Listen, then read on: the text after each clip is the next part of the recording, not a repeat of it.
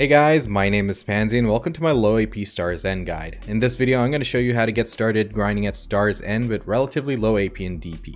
I recommend you have at least 245 AP Kutum and 308 DP, but for this video I'll be using 236 303 because I had to drop my gear down and I didn't have many options to hit the 245 mark. Also, some of my pieces do not have any crystals, so just keep that in mind. But at least this way we can go slow and steady and I'll explain you the rotation as best as possible. Before we begin, just remember, having higher FPS and lower latency in Black Desert Online greatly increases your damage output. That's why I use ExitLag to reduce my ping from a fluctuating 80 to 120 ms all the way down to a stable 68 to 70. If you'd like to give it a try, use the link down below in the description for a free 3-day trial. And if you like it, you can use the code PANSY for 20% off. And here are my settings for BDO. Also, if you find this video helpful, like, comment, and subscribe, hit the bell icon so you get notifications when I drop a new video or go live, and follow me at twitch.tv slash impansy. Alright, let's get started with the buffs.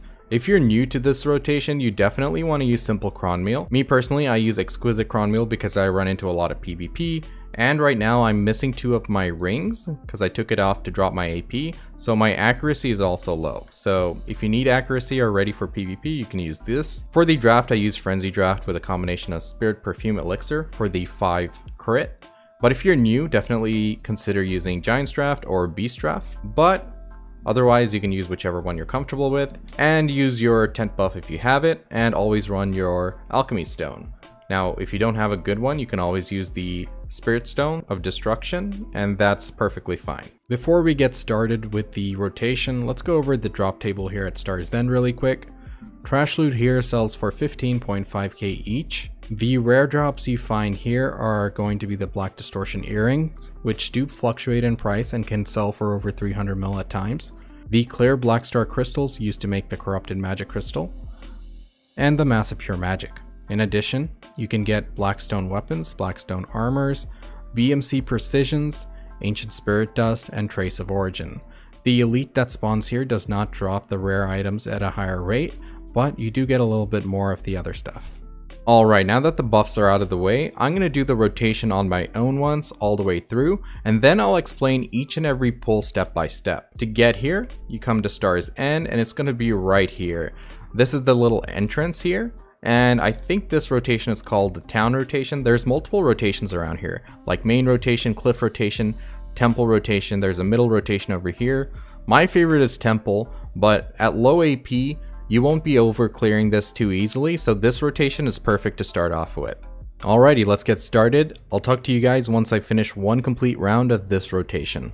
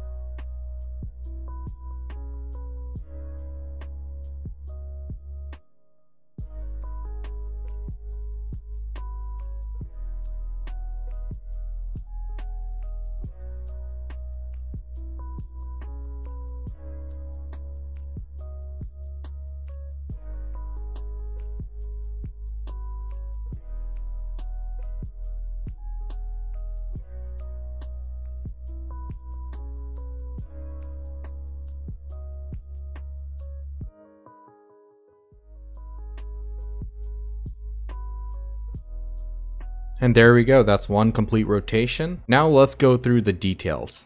First thing to note is the big guys over here, the Apostles of Immortality, are the ones that drop the distortions, so they are MVP, VIP, they are the most important mobs here, so make sure you kill and loot them at each pack. Alright, to start off, this is the pack you see first. You want to pull them to the crystal and break the crystal to knock them down.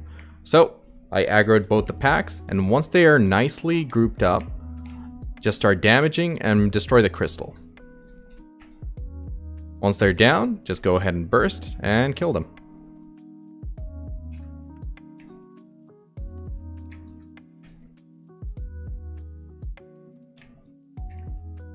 Alright, the next pack is straight down here. You want to pull the far ones to the Apostle of Immortality. So whenever you have the opportunity, you always want to bring the little mobs to the big guy.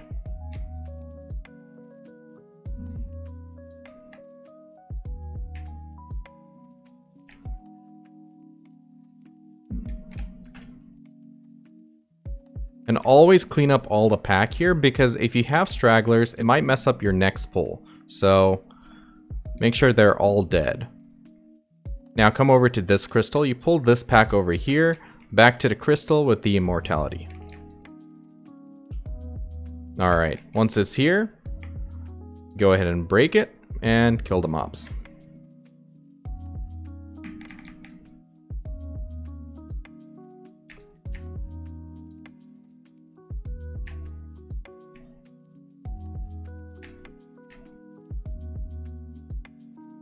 So right here I have two stragglers, which is not good. So I want to avoid aggroing these guys in the beginning, and I want to get the guys in the back first, and then pull them to this group.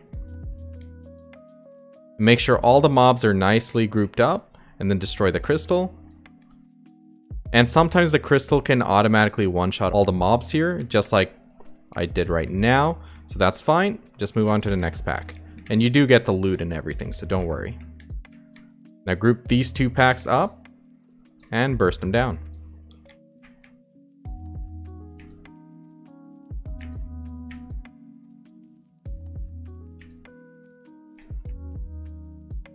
Now come back this way.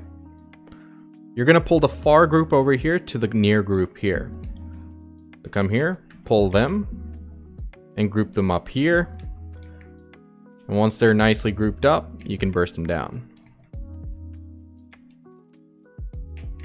All right, let's e-buff. Here we go.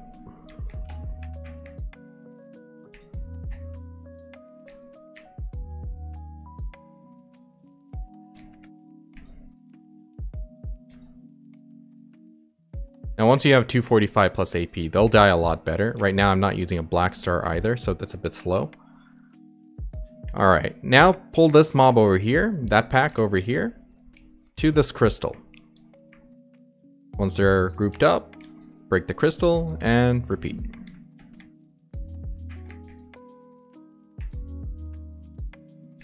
Classes with good down attack modifiers do really well at Star's End whenever you use the crystals, but once you're higher AP, you stop using the crystals and just kill the mobs straight up. Because it's actually a waste of time to wait for them to group up like that. But for now, we'll focus with the crystals. Now, pull these two packs together and finish it off, and this will be the last pack of the rotation.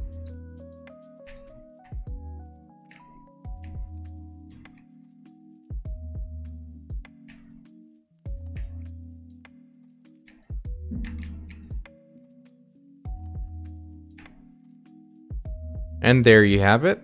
That's how you do this little town rotation.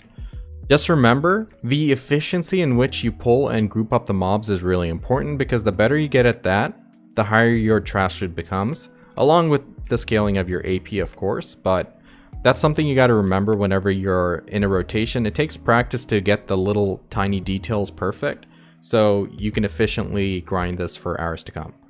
So guys, let me be real with you. As a YouTuber, I do have a responsibility of not overcrowding each and every rotation by telling everyone to go there, so that's what I'm going to do right now.